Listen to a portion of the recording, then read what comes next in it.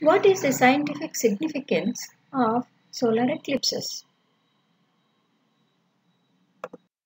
Solar eclipses have contributed to the birth of solar physics. Subsequently, they have led to understanding of our own earth. In the last 300 years, eclipses have provided enough opportunities for us to understand the structure of the sun. When the moon completely blocks the sun, the visible disk called the photosphere is covered. We know from physics that it is at a temperature of 6000 Kelvin. The outer regions are called chromosphere, which appears like a pink ring at total eclipse. Then we have the corona, which extends to millions of kilometers and at a very high temperature of almost a million Kelvin.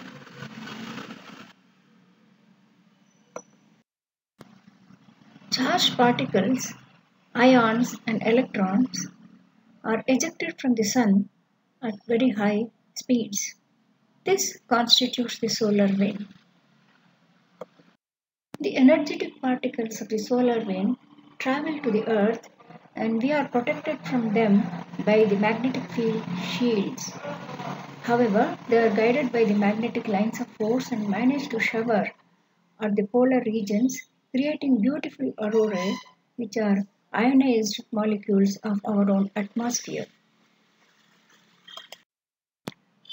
The corona and the chromosphere become visible only during total eclipse. In the early part of the 20th century and 19th century, people used to travel to remote places, erect tents, camps, so that they can observe the corona and chromosphere during the eclipse. The element helium was discovered during a total solar eclipse.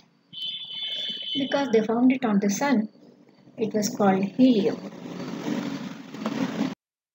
It is interesting that the helium discovery was done on the Indian soil during the total solar eclipse of August 18th in 1868.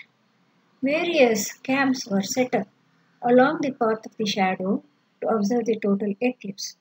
There were camps at Machilipatnam, Guntur, Jamakhandi, and so on, and they observed the spectrum of the eclipsed sun. The spectrum of the sun has dark lines which are called Fraunhofer lines.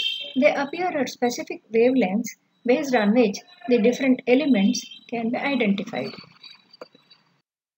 During the total solar eclipse, they identified an extra line which was later attributed to helium. The total solar eclipse of May 1919 has been considered a very important event. It was during this eclipse that the prediction of the theory of relativity was verified. It predicted that a star at position A appears to be at position A dash, the shift being caused by the intervening mass of the sun. This was verified and it was a triumph of the Einstein's theory. The surface of the moon is not smooth. It has mountains and valleys. Therefore, to predict the limb at the time of the annular or total eclipse is a challenge and the observations are carried out and later it, the theoretical predictions are verified.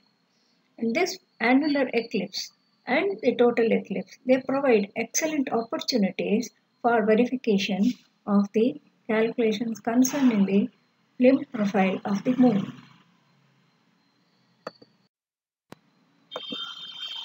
Eclipses have provided a very important mechanism to understand the ionosphere of our own Earth.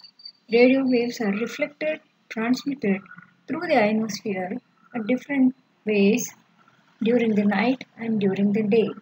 And it was possible to verify the theories concerning this during total solar eclipses.